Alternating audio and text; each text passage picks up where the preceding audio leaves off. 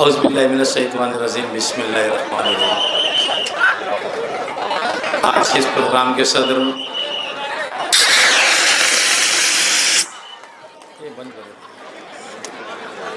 Stage पे बैठे हुए हिंदुस्तान के शेर दिल कन्हैया कुमार जी लाखों दिलों की धड़कन है ये हिंदुस्तान की आज हमारे जलसा गाँव में तशरीफ़ लाए, मैं उनका शुक्रिया अदा करता हूँ। और जलसा गाँव में बैठे हुए हमारे बुज़ुर्ग हजरात, नौजवान साथी, स्टेज पे बैठे हुए तमाम पार्टी के महा विकास अघाड़ी के जिम्मेदारान। आज का ये जलसा 20 तारीख को होने वाले असम्बली चुनाव के लिए होने जा रहा है। आप सभी लोगों के जलसे सुनते होंगे। डेवलपमेंट, विकास की कोई बात नहीं होती। सिर्फ़ एक दूसरे के ऊपर कीचड़ उछाला जाता, एक दूसरे के खिलाफ बोला जाता। यही बात कल के, अभी एक तो नया नाटक शुरू हो गया शहर के अंदर, कि कोई उलमाए कराम कोई मस्जिदों में तकरीर करते। तो ये शेख आसिफ के गुंडे लोग, मौलाना लोगों को तकरीर करने से रोक देते। अगर एक मौलाना ने गलती किया तो दूसरे को ज़रूरत है कि ऐसा ज़रूरी है कि दूसरे को भी तुम तकरीर नहीं करने देंगे। मैं इसका खंडन करता हूँ कि जो मस्जिदों के अंदर से ये, जो ये बीमारी है, ये लानत, ये सियासी लानत को जो मस्जिदों तक लेके जाया जा रहा, इसका मैं निषेध करता हूँ। मालेगांव शहर के अंदर आज पूरा शहर खंडर हो चुका। आज शहर के अंदर रोड रास्ते नहीं, एक एमबीबीएस कॉलेज नहीं, एक बीडीएस कॉलेज नहीं। हमारे शहर के रहनुमा इलेक्शन आता, वोट लेने के लिए चले आते। किसी को बिरादरी पे घमंड होता तो किसी को कायद के ऊपर घमंड होता कि भाई मैं, मेरी बिरादरी का कायद है, मैं शहर का कायद है, मुझे वोट देंगे। एक टाइम धोखा खाता आदमी, दोबारा नहीं खाता। हमने उनको अच्छा समझ के दिया था, एक आलिम दीन समझ के उनको ओढ़ दिया था। और उनके लिए मेहनत करे थे कि भाई, आपको मुझे, आप इनको देख के मत ओढ़ दो अवेसी आए, उन्होंने कहा, हम लोगों ने कहा था कि भाई ओढ़ दो, ये इंशाल्लाह ताला शहर का काम करेंगे। मगर वो भी शहर के लिए खरा नहीं उतरे। मैं शहर के लोगों को एक बात बोलना चाहता हूँ कि शहर में इतनी बढ़ती हुई गुंडागर्दी इसका जिम्मेदार कौन है? ये बहसियत एमएलए अगर ये चाहते तो ये शहर के अंदर जो गुंडागर्दी कर रहे, इसको एक मिनट के अंदर मसल के रख देते थे, इनके पास इतना पावर था। मगर इन्होंने अपने पावर का कभी इस्तेमाल नहीं किया। शहर के अंदर आए दिन गोलियाँ चलती, कुत्ता गोली बेची जा रही ड्रग्स बिक रहा सट्टे जैसे चलता है, पीढ़ी के ऊपर पान दुकान चलती ना, उस तरीके से शहर के अंदर सट्टे की दुकानें चलती मगर हमारे एमएलए साहब की ये सारी चीज़ों के ऊपर पकड़ नहीं है। आप लोगों को मुझे क्यों वोट देना है? मैं मुख्तसर सी बात करूँगा, क्योंकि आज हमारे कन्हैया जी दिल्ली से हमारे लिए यहाँ पर आए। उनको आज मुझे भी सुनना है और आप लोगों को भी सुनना है। मुझे वोट क्यों देना है? आप लोगों को मैं बताते चलूँ कि मैं शहर के अंदर 25 साल से इस शहर के अंदर कारपोरेटर हूँ। मैंने शहर के अंदर काम किया। कोई भी मुसीबत आन पड़ी तो ये शहर के लोग मुझे, मेरे सिवा किसी को नहीं फ़ोन करते। सबसे पहले अगर किसी को फ़ोन करते तो वो शख्स एजाज बेग रहता। कोरोना में आपने देखा।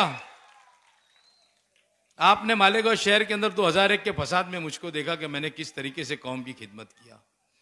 दो दो बम ब्लास्ट हुए।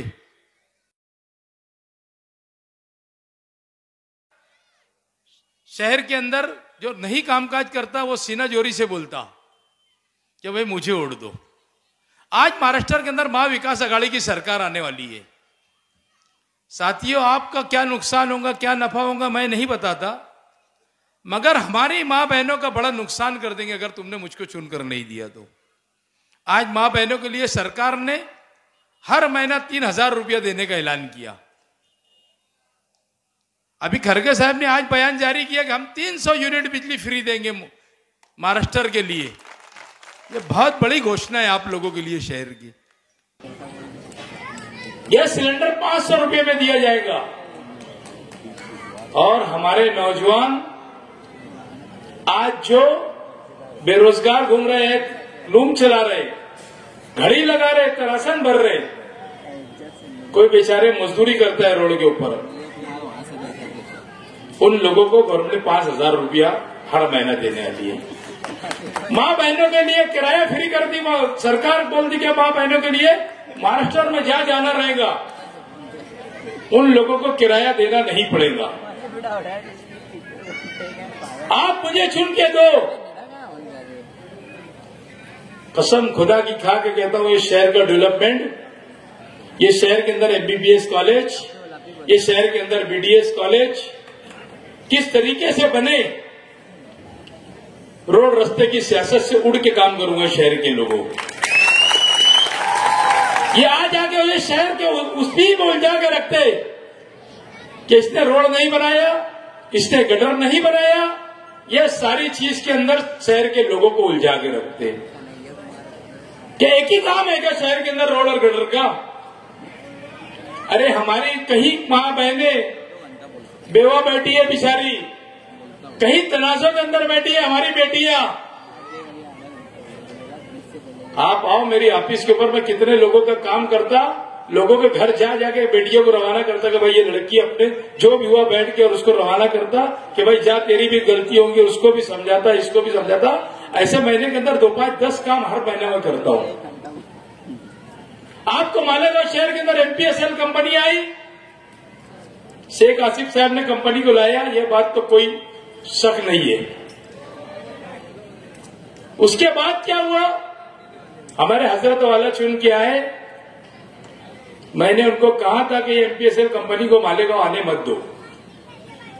अगर ये कंपनी मालेगांव आती है तो मालेगांव के अंदर भिवंडी की तर्ज के ऊपर किलो से लूम बिकेंगे। हज़रत, इनको मत आने दो, अगर तुमने इनको डटा दिए कि मेरे शहर के अंदर मैं ये कंपनी नहीं चलने दूँगा तो ये भाग जाएँगे। मगर उन्होंने भी अपनी बात को नहीं सुनी।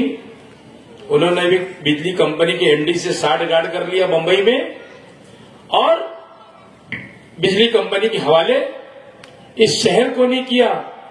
इस शहर की गरीब आवाम को यहाँ के पावर लूम का कारोबार करने वाले छोटा मोटा धंधा करने वाले चरका भरने वाले, इनको सबको बेच दिया इन्होंने।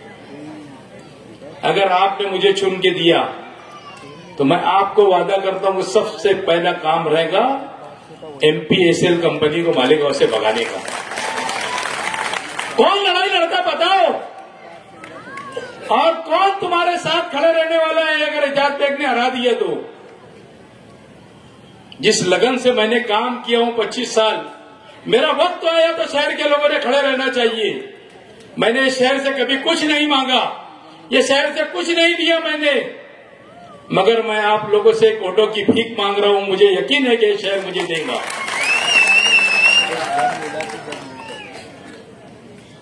इतना गिर गए लीडर लोग शहर के? मैंने पीछे भी कहा था। कल के जलसे में कहा था, आज के जलसे में भी बोल रहा हूँ मैं। कि पीछे बावन टीचर लोगों का मामला था? उन लोगों को स्कूल बोर्ड ने निकाल दिया था। उसमें 40 बेटियाँ ऐसी थी किसी की शादी होने वाली थी, किसी की बातचीत लग गई थी कि ये बच्ची टीचर है, ये बोल के दिया गया था। हम लोगों ने जद्दोजहद करके उस वक्त को उपायुक्त तो शिरीष पवार को मैंने बैठा के बोला कि कोई भी हाल में इन लोगों का काम करके दो। पूछ लेना कसम खुदा की खा के कह रहा हूँ, वो बेटियों के घर वालों से पूछ लेना। उनका ऑर्डर तक के करा के दिया था कि ये ऑर्डर है, आप अपने स्कूल के अंदर जाके रुजू हो। मगर शेख आसिफ साहब को जरा सी बर्दाश्त नहीं हुई। उन्होंने उसके ऊपर भी अपना खेल खेला, सियासत खेला, और उसमें कहीं बेटियों की शादी टूट गई। बताओ शहर के लोगों, ऐसे लोगों को तुम शहर में नुमाइंदगी देगी क्या? एक वक्त दे दो मुझे बस। पाँच साल ज़्यादा वक्त नहीं होता। हज़रत को बोलना, तुम उनसे पूर्ण नहीं पाते, तुम आराम करो एजाज बेग को एक ज़िम्मेदारी दे दो। इनकी जो रिक्शा है, इसके अंदर ही पिलखोड़ भेजूँगा अगर नहीं भेजा तो एजाज बेग मत बोलना। इनकी जो रिक्शा है ना, उसके अंदर ही पिलखोड़ भेजूँगा आप लोगों को बहुत सूझबूझ सूझबूझ रखने की ज़रूरत इस इलेक्शन के अंदर। आप जब वोट देने जाएँगे तो दो बिल देखना है आपको कि एमपीएसएल कंपनी जब आई, उसके बाद का बिल चेक कर लेना, वोट देने के पहले। और जो कंपनी नहीं थी, उसके पहले का भी बिल देख लेना कि जब कितना बिल आता था राज कितना बिल आता शहर के लोगों, तुम्हारी खरीद फरोख्त हो जाती। 200 500 के अंदर बिक जाते। मगर नुकसान एक गदा तीस हज़ार, चालीस हज़ार रुपये में बिकता। और या तो दो पाँच सौ रुपये दो पाँच सौ रुपये के अंदर लोग बिक जाती। गधे की कीमत से तुम्हारी कीमत कम लगाई जाती। क्योंकि सूझबूझ जिन लोगों को नहीं है, ऐसी आवाम बिक जाती, जो सूझबूझ रखने वाले लोग हैं। वो अपने सहनियत से उड़ देते, दिमाग से उड़ देते किसको देना है। पूरी खानदान को बोलते इसको ओढ़ दो। और मैं समझता हूँ कि ऐसा वक्त तो आ गया। शहर के लोग बहुत सूझबूझ का मुजाहरा करेंगे इस टाइम में। और हमारे नगर सेवक फारूक फैजुल्ला साहब आए, हम उसका इस्तेकबाल करते हैं। मैं समझता हूँ कि आप लोगों को सूझबूझ का मुजाहरा करना है। आप लोगों को इजाज़त को वोट इसीलिए देना है कि मैं आपकी आवाज़ बन के असम्बली में लड़ूँगा। वो मुर्गी चोर का पूरा बोलता ना, नितेश राणे तो मुझे चुन के दो उसकी मुर्गी भी जमा करके लेकर आ जाऊँगा मालेगांव के अंदर में। वक्त तो हालात से मुकाबला करो शहर के लोगों। अल्लाह ने अगर चाहा तो 20 तारीख को इलेक्शन होने जा रहा है। आप लोगों ने मुझे 23 तारीख को चुन के दिया। तो इस शहर का डेवलपमेंट, इस शहर के अंदर बड़ी बड़ी कॉलेजेस हमारी बेटियों के लिए अच्छी अच्छी कॉलेज बनाऊँगा। आज हमारी बेटी दूसरे शहरों में पढ़ने जाती है। आज एक हॉस्पिटल हमारे शहर के अंदर ऐसा नहीं है कि किसी के माँ बाप किसी का भाई बहन बीमार हो तो उसको दवा खाने के अंदर डाल के पूरा इलाज किया जाए। ऐसा नहीं होता। यहाँ से नासिक जाना पड़ता धुलिया जाना पड़ता, न तो बंबई जाना पड़ता, न तो पूना जाना पड़ता। मैं ज़िम्मेदारी लेता हूँ शहर के लोगों कि अगर आपने मुझे चुन के दिया तो पाँच साल का वक्फा बहुत बड़ा वक्फा है, मैं दोबारा ये नहीं कहूँगा मुझे और चुन के दो। अगर मैंने नहीं काम किया, सरकार आने वाली है, चुको मत। अगर मैंने नहीं चुन कर दिया तो मैं समझता हूँ कि आने वाले वक्त के अंदर, आने वाले वक्त के अंदर ये शहर पछताएगा। सरकार आएगी, बहुत सारे काम करूँगा। ये सौ दो सौ करोड़ रुपए तो ऐसे करा करूँगा जैसे मेरे वार्ड के अंदर काम करता है सौ दो सौ करोड़ का शहर में काम करूँगा। वक्त मैं आप कन्हैया कुमार साहब को देना चाहता आज शहर उनको सुनेगा।